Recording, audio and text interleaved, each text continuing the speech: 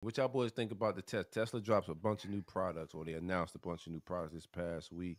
Elon Musk uh, put on a, a quite a show with some of the products. So they got an iRobot, Robo Taxi.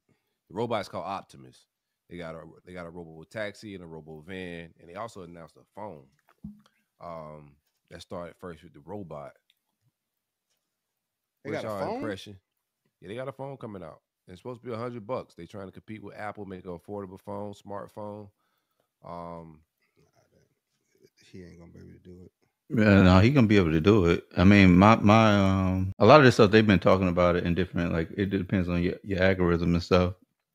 Um, my first impression, like when I saw the like you know you know we sitting around here fighting over like immigrants and people that are coming here, these are the motherfuckers that are about to take your jobs, like these damn robots. Um, motherfucker coming out with their own currency, their own form of money. I'm thinking like power, like like they own some like He's about to be like the richest man in the world on some like Iron Man type shit. Like he gonna have the ability to be able to take over a lot of shit if I don't know, man.